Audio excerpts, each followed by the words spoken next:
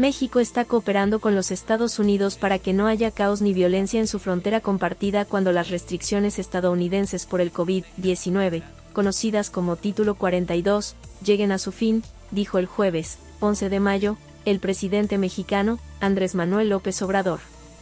Eh, cooperar con el gobierno de Estados Unidos para que no haya eh, caos y mucho menos violencia. Las restricciones, que han impedido que cientos de miles de migrantes atrapados en la frontera entre Estados Unidos y México busquen asilo desde 2020, finalizarán el jueves por la noche, lo que provocará un aumento esperado en la cantidad de migrantes que llegan a la frontera. López Obrador agregó que las autoridades estaban trabajando en la región sureste para proteger a los migrantes.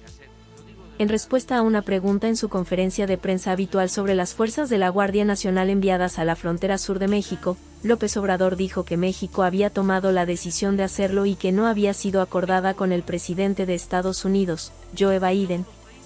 López Obrador también instó a Biden a trabajar en acuerdos con Cuba, Venezuela y otros países para que sus ciudadanos no tengan que emigrar. Ha presionado durante mucho tiempo por más inversiones estadounidenses en la región, particularmente en América Central.